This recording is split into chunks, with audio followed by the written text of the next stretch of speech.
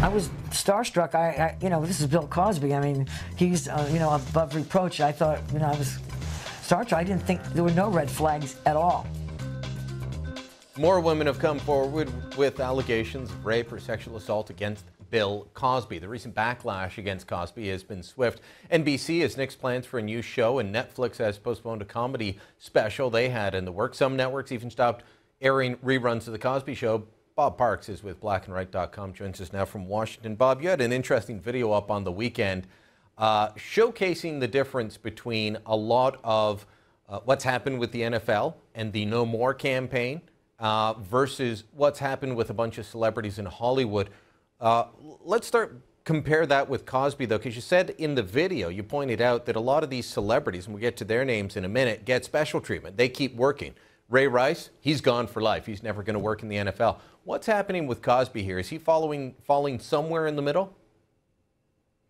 I don't really know what's going on with the Cosby thing. Uh, uh, there are a lot of people who are very quick to throw him under the bus, and depending on who you were, eh, let's say if you were another Bill, like a Bill Clinton, then we were told, well, we need to um, question the motives of the accusers, even though at the same time, those very same people who who represent women's groups who would say that the, you, you never should doubt the, the, the integrity of, a, of an accuser. But there is a clear double standard between what goes on. Let's say, going with the Ray Rice incident, he was banished, basically banned indefinitely from the NFL because of his incident. But if you look at Hollywood, these same Hollywood celebrities who in this PSA, and it's actually it's a group of PSAs, they are, and you look at, even look at their tone, their demeanor when they're looking into the camera, they are talking down to the American people, and not even the American people, because those ads were created, it appears, specifically for fans of the National Football League. They are indicting a group of men, mostly, watching those games as potential domestic abusers.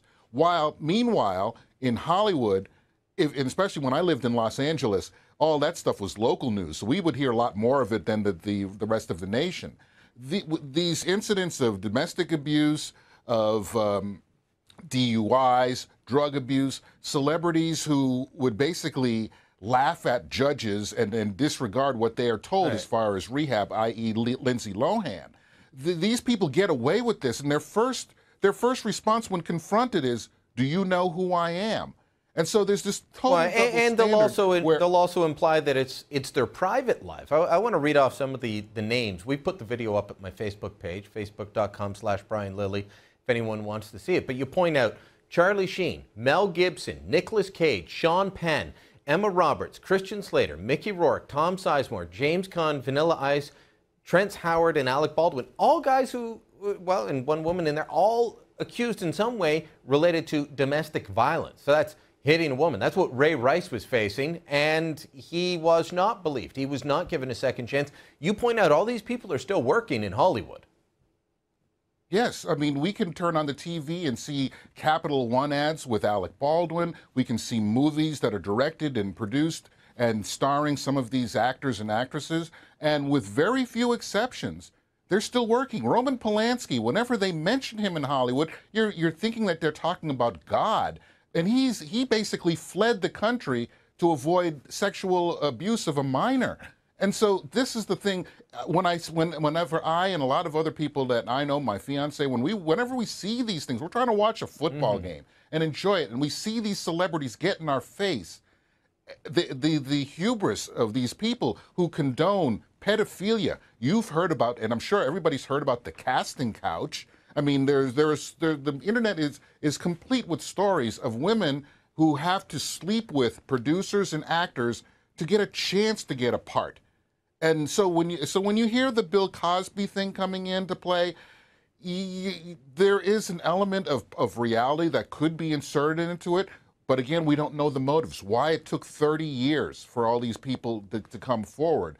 That's, I think, one of the legitimate questions that have yet to be answered. Yeah, and in light of, and we've had our own issues up here recently with uh, CBC host Jian Ghomeshi, but uh, I, okay, I want to read off something quickly before we run out of time and then get a very quick reaction, and that is Bill Cosby and his statement on this. He said, I know people are tired of me not saying anything, but a guy doesn't have to answer to innuendo. People should fact check. People shouldn't have to go through that and shouldn't uh, answer innuendos. You're right, 30, 40 years. I want to take people at their word on this, but when it takes that long, uh, last 20 seconds to you, Bob. Well, there's one statement that he has yet to make. He has yet to look into the face of the American people and say, I did not have sex with that woman. Now, So if he I'll says that, we know that. from we know from history. If you say that, I guess you're good. If you're Bill Clinton. There you go. Bob, great talking to you.